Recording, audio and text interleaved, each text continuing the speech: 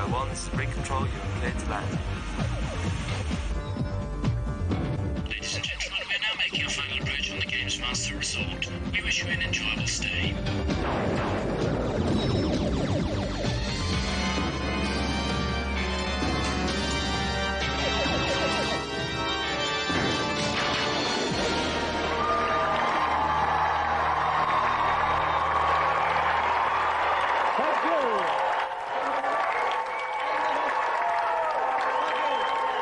Thank you very much. Thank you, lovely. Yes, here we are on the Games Master Oil rig again. The salty spray licking against our legs with nothing but our protective hoods for comfort. But we can all take warmth and cuddliness from the man who sets the challenges, the Games Master. Greetings. Welcome to the Games Rig. The first of this week's Jolly Japes is a romp through the perilous world of the geriatric superhero Captain Dynamo. I'd like you to guide this um, aged sprite through the fourth level of the game in one and a half minutes without losing a single life. So uh, prepare to force those arthritic limbs into action. Helping the senile superhero evade the tortuous traps on this challenge is a young lady from Cheshire. Please welcome Emily Taylor.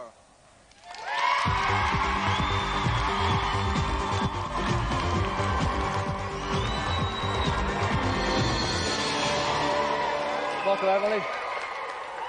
Now, Emily, do you think video games are played more by boys than girls? Um, yeah.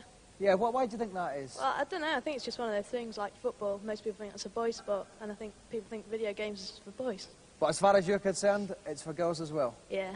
All right, well, listen, good luck with the challenge tonight, Emily. If you'd like to sit yourself down in the games playing chair, I'm going to go up and find out who's with me tonight. It's Tom Watson from Renegade. Welcome, Tom. Good evening, Dominic. Now, Tom, have you got any tips for Emily in the deepest voice you can muster? Well, I'd just say she's got to really watch out for the uh, creepies on the platforms. This is a one and a half minute challenge, one life. She can't afford any mistakes, and it is a tough one. Okay, as Tom said, Emily has one and a half minutes to get from the start of the level to the end of the level. Emily, are you ready? Then your one and a half minutes begin now. Okay, off goes Emily. Okay, the character Captain Dynamo's got a way of actually killing the nasties by landing on top of them. But what she's Because, got he, because he's fat, isn't he? And because he's, he's, he fat, he squashes squashes them, them, basically. he squashes them completely. But what he's got to watch out for is going in the side of them. That'll take him out. Okay, Emily's gone very, very fast. She's obviously got to watch these spikes here. She's only got one life to go. That's right. This is the hardest bit, is the jump over these three spikes onto that platform. She's made that nicely. Now she's going to go up the middle here, up the middle, onto the spring. She'll look Okay, for the this is spring going to to obviously boost up. further. She's got 30 seconds. Now she's got to Oh, watch out for these slammers. here. Now she's waiting there. Oh, well timed there from she's doing it nicely. She's got to get moving up to the top. Oh, yes, she's done it. Perfectly Well done. done, Perfectly done. On the tortoise, on another spring, picks up some diamonds on the way. Now there's little bits of spray coming up here. Do That's right. These, these are poison canisters. They, they'll again take take a life off. She's made it. She's doing remarkable. Now there's a guillotine here. Whoops, just watch your Yeah. head, Again, it's all good jumping, control on the timing. Okay, she's coming up for one minute. She's just got 30 seconds left. She's doing very well, Tom. She's got to watch these little She's doing plates here. extremely well, actually. Very confident. Otherwise, This- everybody's favourite pension is going This is a pixel perfect jump she's got here, though, Dominic. Pixel perfect. Yes, now she's she done ducks She's to misses, miss the blades, ducks again. Captain Dynamo Runs through, she's through. Behind there. I don't know if she's going to do it, Tom. Well, she's got one more spring to manage, and got she should be she's up got there. four She should be seconds up left. there. Three, two, She's one. done it. Emily's done it. Amazing. With literally seconds left, Emily Taylor tops the challenge. Really tremendous.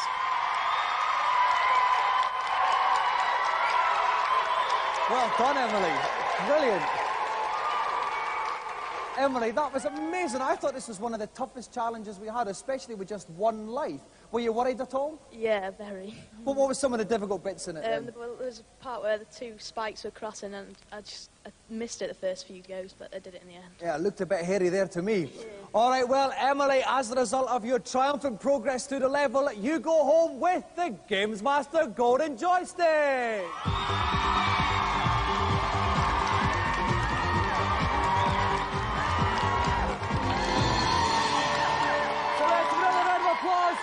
Emily Taylor.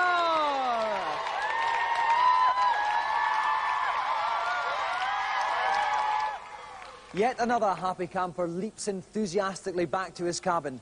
And three more experts line up to thrust their opinions on the waiting world in this week's reviews.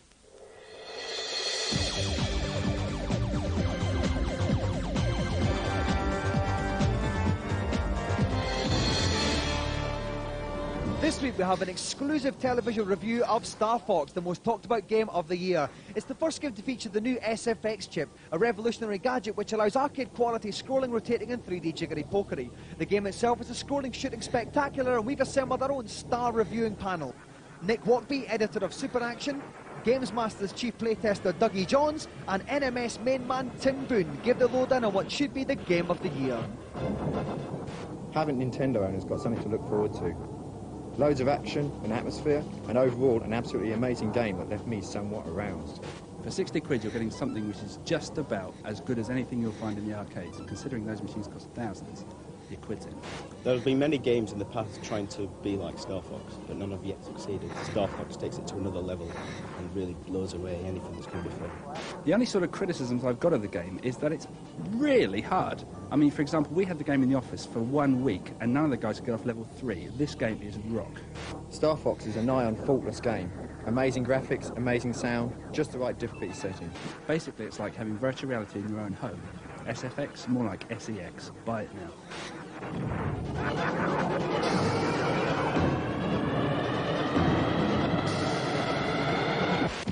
This year, the buzzword is most definitely CD. Three systems are out now Philips CDI, Commodore CD-TV, and PC CD-ROM.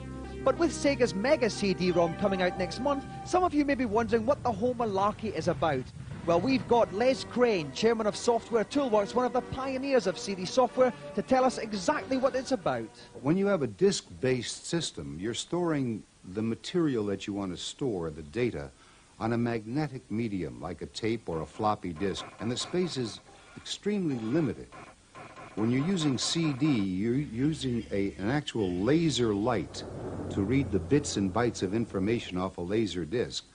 And the amount of data, information that can be stored is thousands of times greater. Okay, here's the deal. CD-ROM means read-only memory. So when you put a CD-ROM player in your machine, all you can do is read off of that disk, but you can't write to it. In other words, you can't interact with it.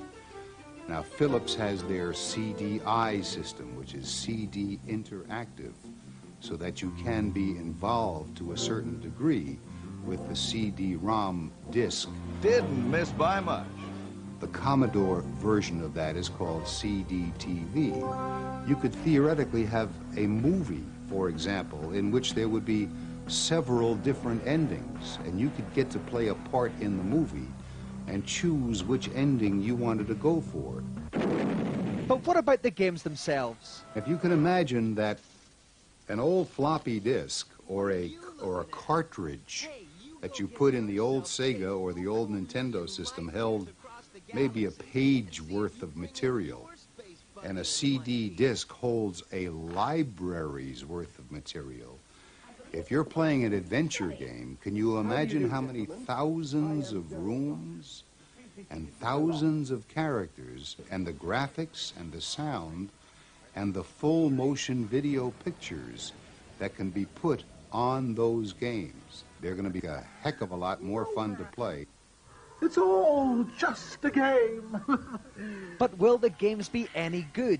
This all looks incredibly enticing, but I must admit, up till now, all the CD games I've seen have been a little bit ropey. The potential's certainly there, let's hope they use it.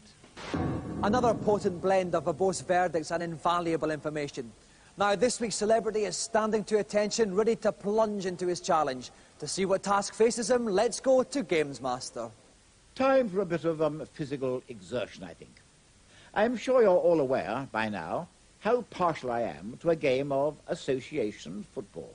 So I make no apologies for choosing striker as my second challenge. Two one-minute halves should produce an entertaining encounter. For this challenge, young Ben McCluskey is taking on one of the greatest left-footers since Pope John Paul I. Aston Villa and England winger, Tony Daley.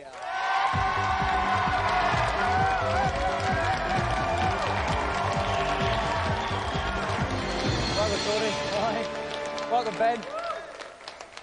Now, Tony, I know you've had a bit of problem with the legs since you've been on the camp. Yeah, that's right. I've done a bit of training this morning and a bit of scaffolding fell on me. So, uh, big apologies to Big Ron for that one. Um, listen, we know you've got some of the best ball control in the Premier League. What kind of a game are we going to see from you? What team are you playing? Well, I'm England and it's all out attack, I'm afraid. Right, Ben, young man, what team are you playing then? I'm playing Italy. And what, what type of game are we going to see from you? He's very, very good, this guy. Well, I might do a few passes, but I'm going to try and score and cream him, really. All right, the best of luck to both of you. Ben, if you'd like to sit down there, Tony in the right-hand chair, we'll get ready for kick-off. And helping me with the halftime oranges is Games Master Magazine's own Jim Douglas. Welcome, Jim. Hello, Dominic. Now, Jim, any tips for striker here? Um, diagonal hits from the corner of the box always seem to go down well. Okay, then. So it's two one-minute halves here between Tony Daley and Ben McCluskey. Are you ready, boys? Then kick off. So we have Ben kicking off. He's Italy in the blue playing down the pitch. Tony's England in the white playing up the pitch. And it's Good defence from. Italy there. Oh, someone's down there. Oh, a bit of dirty play the from England referee's there. glasses. Well, oh, it's a seems shot, it's a goal. it's a goal. Brilliant first goal. Started off in the middle, curved to the left. That's quite a good tactic, That's Jim. right, curving it into the left, goal coming from a diagonal. They're the surest ways to score. Oh, okay, it's England again. Oh! oh too Okay, it's with the Italian goalkeeper. He kicks it up to the midfield. England get it back. It's with England number 14. He covers it again. It's out to the goalie's Oh, down. good Brilliant defending, good defending. The keeper was lost, but the defender got it out. Now they're on the counter attack, but England have got it back. Launching a counter attack of their own here. Here goes the England number seven. He's curving it away. Oh. Goalie saves it, but it's oh, gone out. Good clearance. It's out for a throw into England. 28 seconds left in the first half.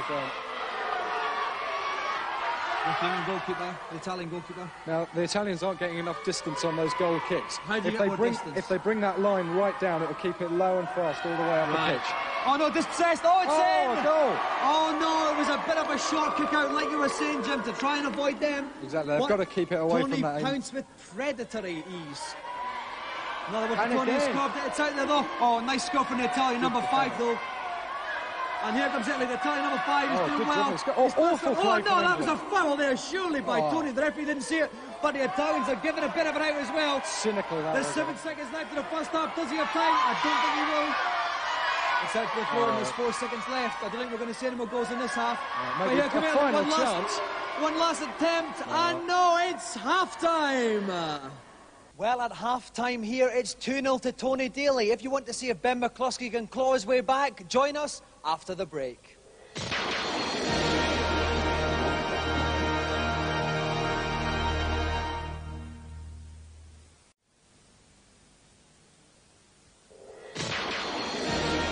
Welcome back. We're in the middle of a great match. Tony Daley playing England is 2 0 up against young Ben McCluskey playing Italy. They're just getting ready to kick off for the second half. So, Tony, if you're ready, off you go. So, here we go for the second half. It's 2 0 to England. Now, Ben is in the blue Italian shirts playing up the pitch. Tony in the white shirts of England playing down. And it's all England again. Here comes the number Oh, the 14. Italian yes, defence it's is in tatters. Oh, it's little Tony Daley doing a brilliant somersault there. What can Italy do to come back into this game? They really need to tighten up the back and start hacking away at those England legs. There's a lot of holes and more holes in the defence in Brecon Cities. Oh, Oh, it's one. another one from It England. It really is a whitewash. 4 0 to England now. Mind you, this looks promising. Oh, Oh, it's a good attack. Surely it's an now. overhead kick. They missed it again. how, can the, Oh. how could the keeper get to those? I, I Lightning really don't reflexes from the England keeper there. But that's Italy's best chance of the game so far. Certainly. If we can get another couple like that, then we'll start Here seeing comes some Italy. They're on the break again. He chips it up. It's across. No one's there, Oh. but it's a oh. goal kick. I would have thought that would have been a corner I there. thought it was a eh? corner myself there, Jim. Bit of a strange referee. I think he must be English. I think so. I think he's from Scunthorpe. There's only 16 seconds left The here. Italians are coming back. I don't know if Ben can score four goals in that time. Maybe he can get one back for pride. But it's still Tony Daley. Oh, that another after touch. The after touch again, Jim, making it 5 0 to England. You just can't get around it. You've There's got to cut them out far earlier. Seven seconds left here. Here come Italy in one last ditch effort, but no, they've been dispossessed by England. Nobody We're coming to the end. Oh, it's a foul, but the ref Oh. hasn't spotted it. And that's it. Full time. Full time here at the Games Master Stadium. Tony Daley wins 5 0.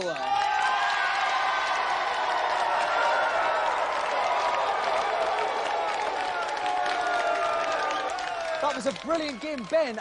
I think it was your players that were at fault. What was that? They had too much spaghetti for lunch or something? Nah, it's they're just too slow, really. The boys let you down in the day, Ben, but you put up a good fight anyway. Yeah. All right, now, Tony, you had a predatory instinct in front of goal. You didn't let anything slip today. That's right. I think that's answered my critics saying about my finishing in front of goal, I think.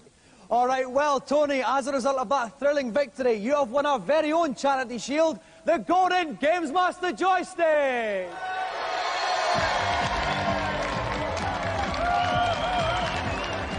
So let's have another round of applause for Ben McCluskey and our special guest, Tony Daley.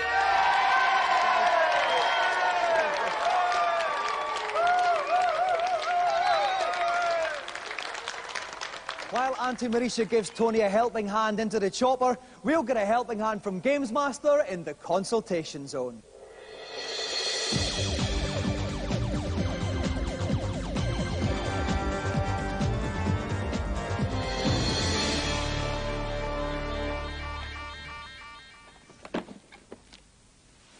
Hello, Games Master.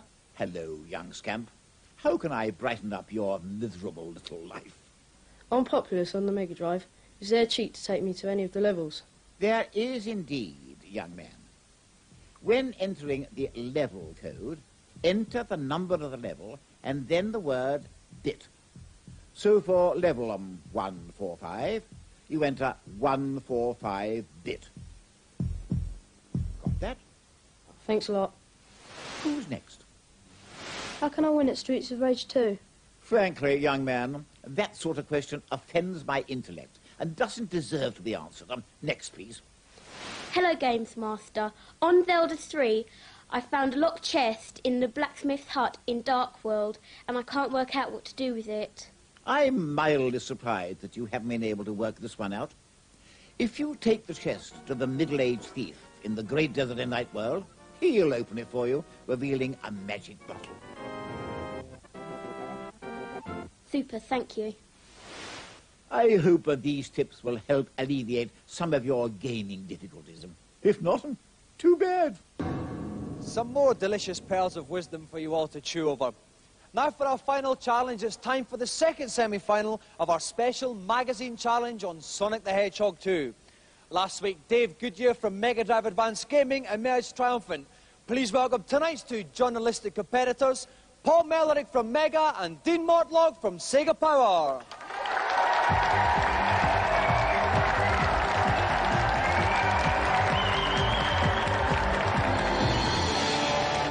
Start with Paul. Start with Dean. All right.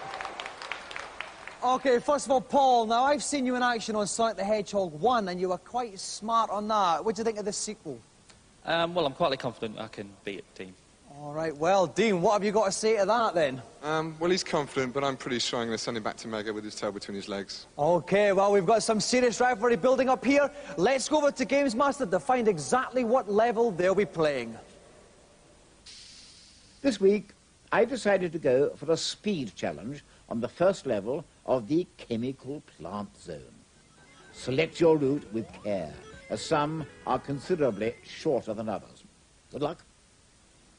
So, Chemical Plant Zone 1. Paul, are you still as confident? It's a tricky little zone, but I'm sure I know the best way to go.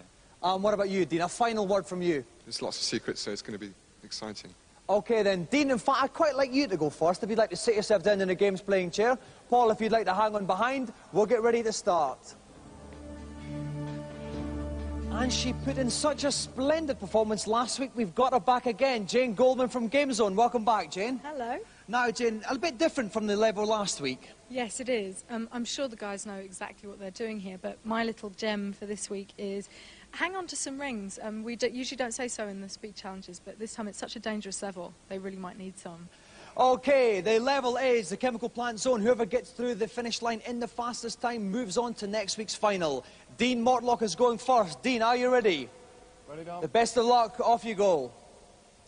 Okay, here goes Dean Mortlock from Sega Power here. It's a good quick start he's getting here. That's right. He, he was using the platforms instead of winding his way over the over the little things That's there. right. Another quick bit there. He's uh, missed the bottom platform. He's going up the top route. He's lost his rings, he's got to pick some up quickly.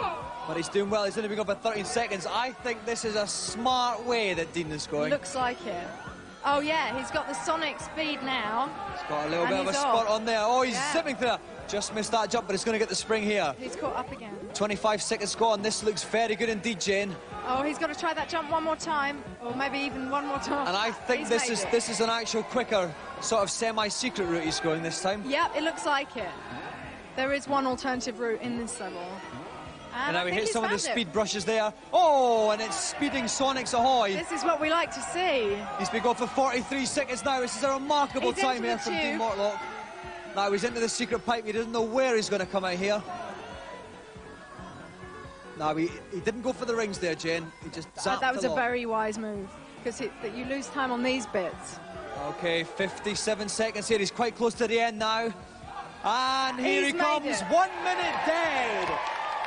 So a brilliant time by Dean Mortlock. Will Paul Mellerick beat it? A quick verdict on Dean's performance there, Jane. What can I say? I'm weak at the knees, Dominic. It must be my aftershave. All right, Paul, are you ready? Yes, Tom. Then off you go. All joking aside, though, Jane, it's a very Indeed. tough time to beat that one minute. it certainly is. He's got a bit of a task ahead of him. Now, already He's we doing saw well. it. He was good, but Dean actually leapt a lot of those platforms That's before. right. We'll soon find out if that was the quicker tactic or if Paul is being much smarter. Pretty fast to me. He looks a wee bit nippy, doesn't he? Certainly is. He just missed a little speed trap there, but it wouldn't have mattered. He would have been stuck by the wall anyway. No, he's okay. Oh, Oh, he oh, there. that could cost him. I think he's lost a couple of seconds there. Looks like so, it. 24 seconds. He is going good. I think he's got a He's faster the split time. hazards too. He's doing very well. Oh, he's hit the speed, speed brush brushes. things. Tony Hart used to have a couple of them, I think, in his back room. Into the tunnel. He's in the tunnel. I don't know if you've noticed Tony Hart now. He's got two women helping him out now. He doesn't have Mr. Bennett, that guy that used to come out in the long dirty old mag. Oh, and it's, it's a change for the better. It certainly is. All right, Paul Mellerick's been going for 43 seconds now. A little bit of a sonic spurt there. They seem to favour this technique. Oh, well, 48 that's seconds, need. he's done it! 48 seconds! Unbelievable Incredible. time! Which means that Paul Mellerick is tonight's winning semi-finalist.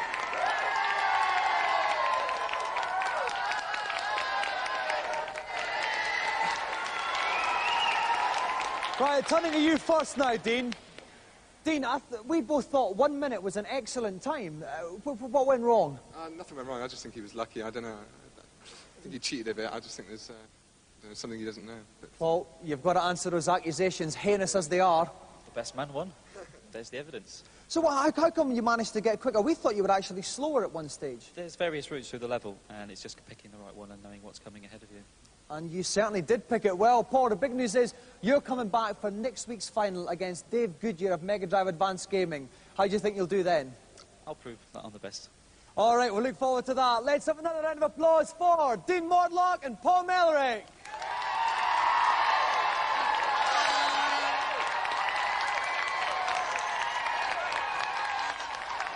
Much as it pains me to leave you, the dinner gong brings another show hurtling to a close.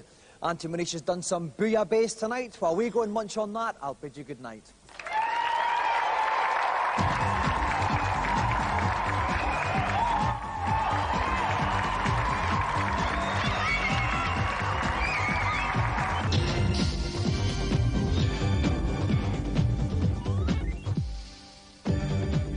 The Games Master Club is open to all our viewers. It costs £11.15 for a year's membership. To find out more about what you get, either send a large stamped addressed envelope to the Games Master Club, PO Box 41, London E14 9GT.